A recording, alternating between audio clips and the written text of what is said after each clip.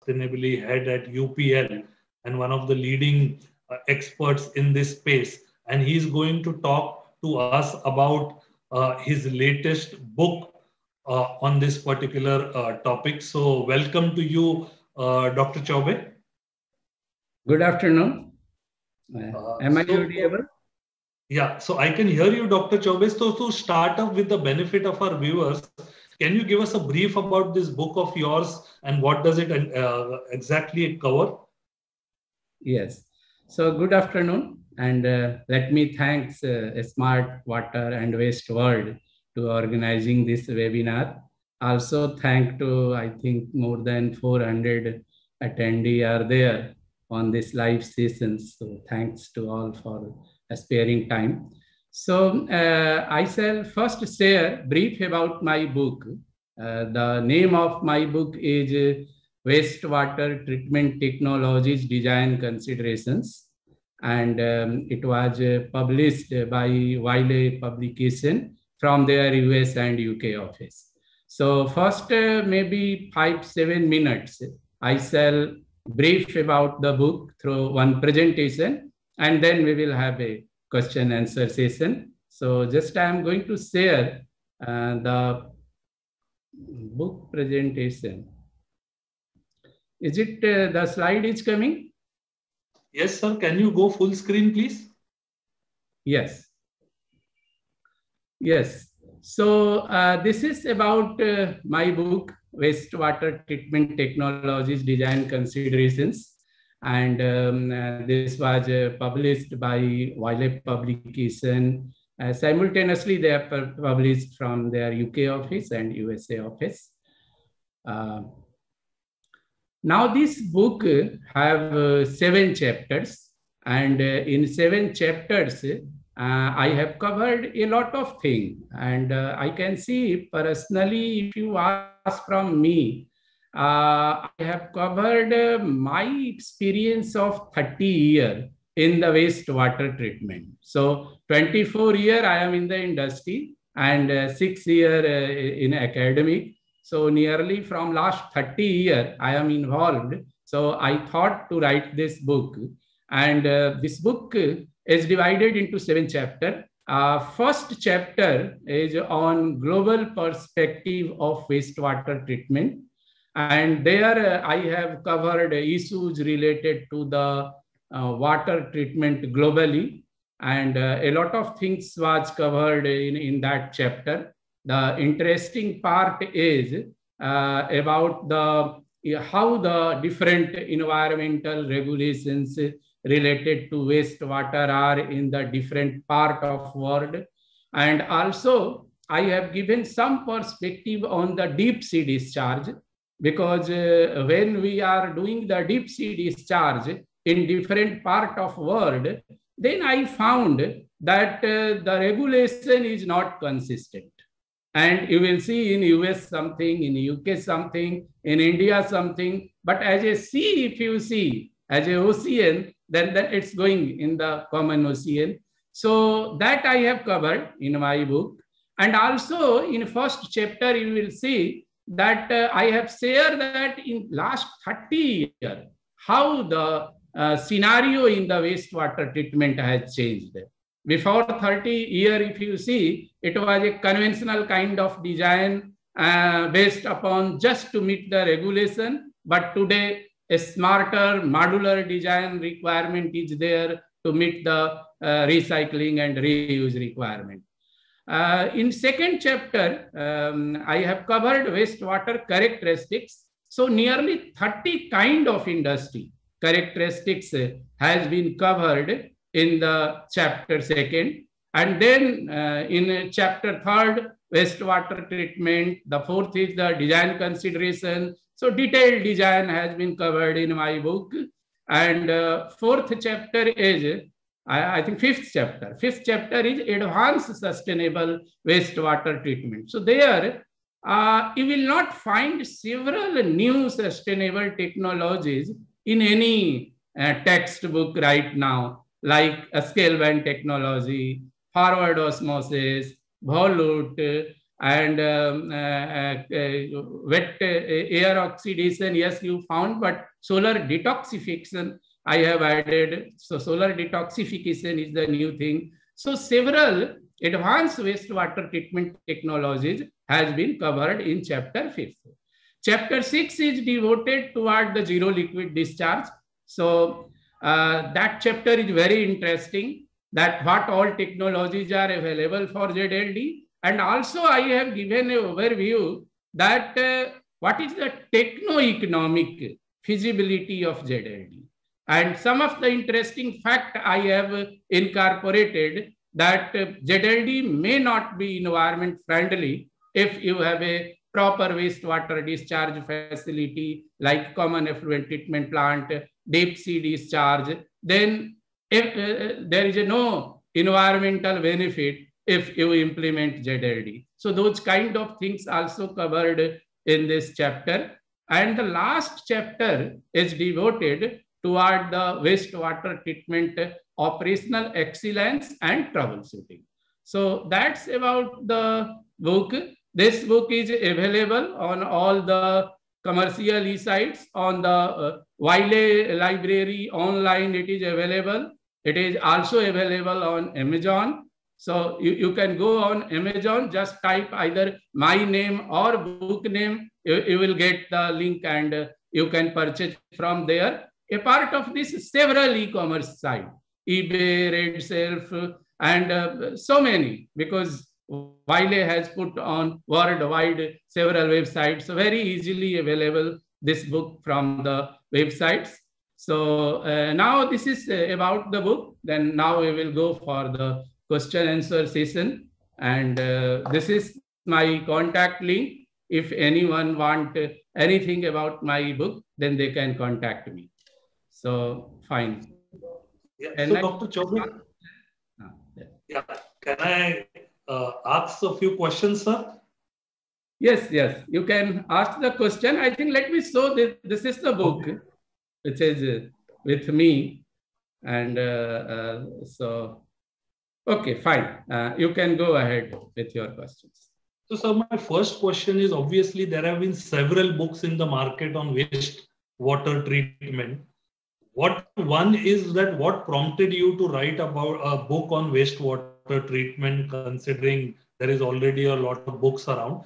And what are the special features in this book that helps it set up itself apart? Okay. So I think the uh, why I have written this book to answer your question.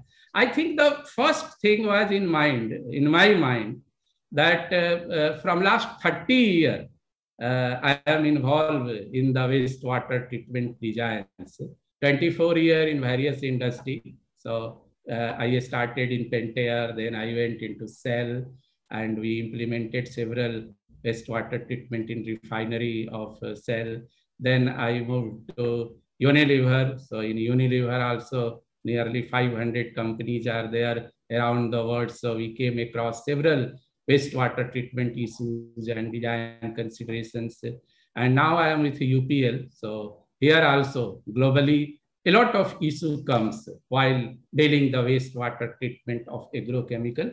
So I think the that is the main idea that uh, uh, six year while I was in IIT uh, reading on academic side on the wastewater and 24 year in the industry. So all 30 year what experience I get with the wastewater treatment, especially design, operation, new technology. So that let's document and, and that is the main idea. Second thing is that nowadays, uh, this is very important to embed the sustainable wastewater treatment technologies. And the sustainable wastewater treatment technologies like uh, uh, you can say volute for the sludge handling, forward osmosis, uh, scale bind technology, and uh, vacuum distillation, these all are the new technology and uh, also MBBR is not new, but yes, from 10 year, it's popular inside the industry. So that should be also covered in a textbook and all design methodology, design considerations should be given. So that was also my idea, and that has been presented in this book. And uh, last point, uh, which is very important, uh, I used to face the problem whenever we design the wastewater treatment plant, we don't get proper characteristics. So when you are going to design the wastewater treatment plant, especially industrial wastewater treatment, then you must know what is the characteristics of inlet effluent like pH, BOD, COD, TDS, TSS. So I have summarized in this book nearly 30 industry effluent characteristics and that is based practical. Means what characteristic I got uh, while operating those plants and uh, so practical uh, 30 industries characteristics that has been summarized and uh, mainly for the FMCG industry, chemical industry, agrochemical industry, and uh, several kind of refinery, and uh, so many more, 30 kind of industries characteristics are there. So I think that is a very good part in this book where any designer can refer those characteristics. Uh, sir, in at the start you mentioned about the deep sea discharge standards and how uh, you know they are uh, different in your experience. Can you throw a, a, little bit more light about these deep sea discharge standards? Uh, yes, I, I think uh, deep sea discharge is a very interesting thing. And in my book, uh, in the chapter Global Perspective of Wastewater Treatment, I have covered in detail. And uh, what is there that uh, when you are sending your effluent, treated effluent, into deep sea discharge, then a lot of cost get uh, accrued. And I think it is a very good thing for the wastewater treatment that first you treat, meet the discharge standard and send to the deep sea discharge. But what I found that when you see the US EPA norm in US, then their standard is for uh, agrochemical industry, if you see, then they are allowing 4,000 ppm COD, uh, 2,000 ppm BOD, and 2,000 TSS to discharge into the deep sea. But if you see the India standard, then in India, we have put the limit of 250 ppm COD and 30 ppm BOD and 100 ppm TSS. So very stringent. And why it is? Because in India, we have only one norm. Whether you discharge on ground, whether you discharge in the river, or whether you discharge in the deep sea, our norms say that everywhere same standard. But if you see the US EPA, then they have make different standard for the different mode of discharge. So those things has been elaborated in my book that what US EPA norm is, what India norm is, what is UK norm is, what Brazil. So several part of world has been covered and uh, it was concluded that in India we have the a stringent norm for the deep sea discharge. Uh, sir, I'll take a few questions that have come in from the audience. So Bharat is asking, does the book uh, cover the treatment of API and antibiotics treatment because this is currently a very high agenda for pharmaceutical companies? Yes, pharmaceutical company I have covered in my book. Even the characteristics also has been summarized. Treatment scheme has been also summarized. And even in the deep sea discharge standard also for pharma industry, what US EPA norm is and what our India norm is, that has been also summarized in this book. Uh, sir, Dilip Kumar Chatwal is also asking, is the book also covering case studies or literature around sugar plants? Because he says that they are very seasonal and are very difficult to handle before and after the closure of the season. Yes, sugar industry has been covered in this, and and personally, I I have been uh, with several wastewater treatment plant uh, to treat the sugar industry wastewater. So those uh, treatment approach and design methodology has been covered in this.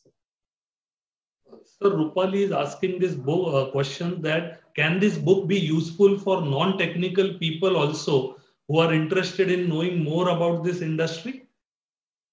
I think it is mainly for them uh, because uh, I have tried to write in such a way that people can easily understand.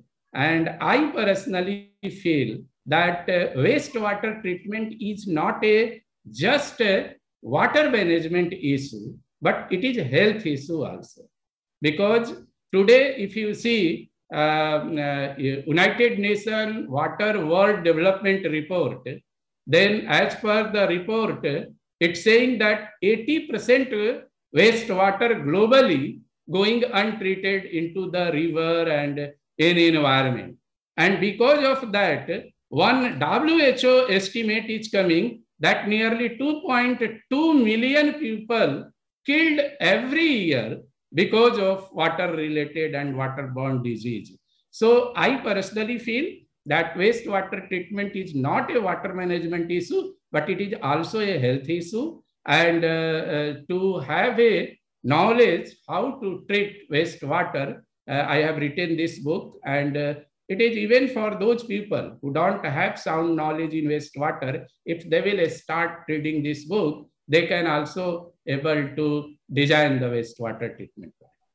Uh, Dr. Chaubey, Anthony Fernandez is asking that is this book only about technology information or can it help engineers to design and operate wastewater treatment plants through some examples that you might have in the book?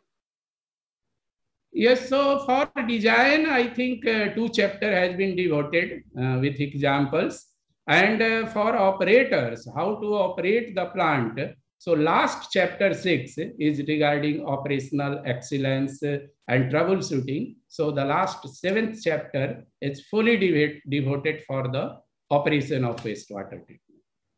Uh, sir, in your book, while talking about your book, you mentioned about ZLD and you said that you have an exclusive chapter dedicated around uh, ZLD. Can you share with the audience your views on ZLD uh, based on your experience? So on ZLD means uh, zero liquid discharge in industry. Uh, my view is that uh, in those areas where there is no proper discharge of wastewater treatment facility available and very water scarce location, yes, establishment of concept of ZLD is good for those areas. But it cannot be generalized. Means right now, so, we are making a general norm that let make ZLD mandatory everywhere, uh, especially in those areas. If you go in Gujarat, coastal area, so we have deep sea discharge facility we have common effluent treatment plant. So in those areas, I found that ZLD is not a environment friendly technology. And why? Because in my book, I have presented a case study and calculation, and it's showing that suppose if you are meeting just discharge standard, and if you are implementing ZLD, then ZLD consume four times more energy uh, emission of carbon emission happen four times more than the normal discharge standard. Uh, hazardous waste get generated 2.5 times more in the ZLD.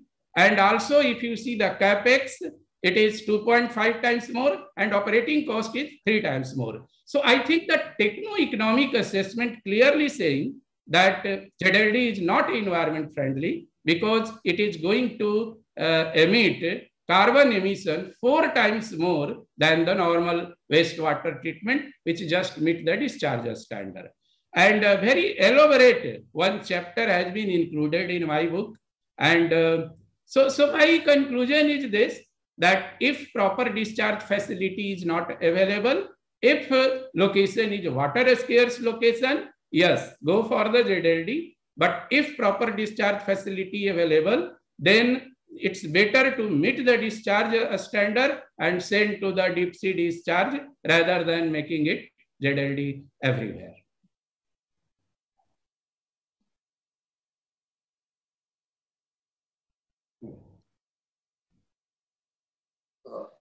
Sir, we have heard that after the release of this book, that there have been reactions from the Indian government also in trying to, uh, you know, uh, they have given feedback, it seems, about the issues that you have raised in the book. Can you share something about that?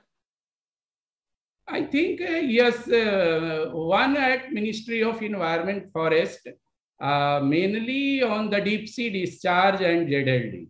So the committee has been set up uh, by the Ministry of Environment Forest to look into the ZLD feasibility and also a separate committee has been set up to look into deep sea discharge standard. And uh, recently I heard that the Gujarat government has also um, asked to review uh, ZLD. Uh, so, so I think uh, these two things, two developments happen. So, so sir, uh, also a little tricky question, also something that people have put up in my. Uh, the question is that don't you think that the book is a little costly? You know, you're talking of nearly eight to ten thousand rupees. Uh, you know, uh, the feedback is that the book seems to be a little expensive. Uh, you are right.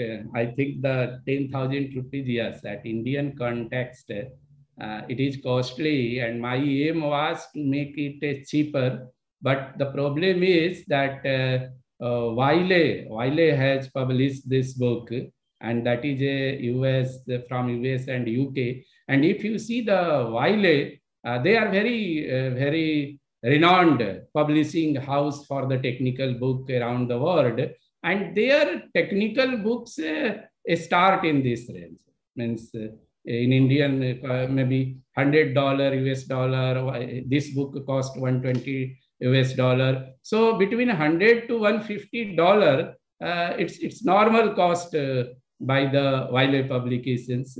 So cost was not in my hand, and uh, truly uh, speaking from me, yes, uh, we should make it affordable. but right now, it is beyond my control.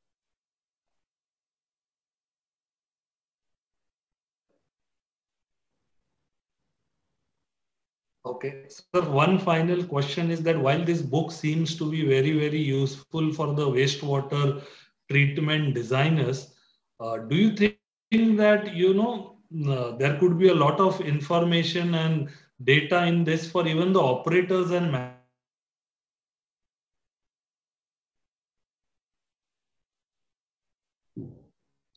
I, I, I think your voice is breaking. Yes, sir. So, so just uh, Mr. Chaubey, I'm not sure if you can hear me. Yes, yes. Now I am hearing. Uh, now I am hearing. So uh, yes, uh, if you see for operator, uh, this book is very good for the designer, but also it is very good for the operator because the last chapter, chapter number seven, uh, I have covered wastewater operation excellence and troubleshooting. So that chapter is very good and relevant for the operators. And there they can able to see uh, that how to make the logbook and uh, how to analyze the characteristics. Also, while operating the plant, uh, what care they should take and what kind of parameter they should use to measure also nowadays we have to uh, implement online measuring instrument. So those things has been also covered in this book, how to install the online instruments and how to measure the online all parameters. So I think for operators, this is very good. And, and they can also, when they will read this book, then they will also found very useful.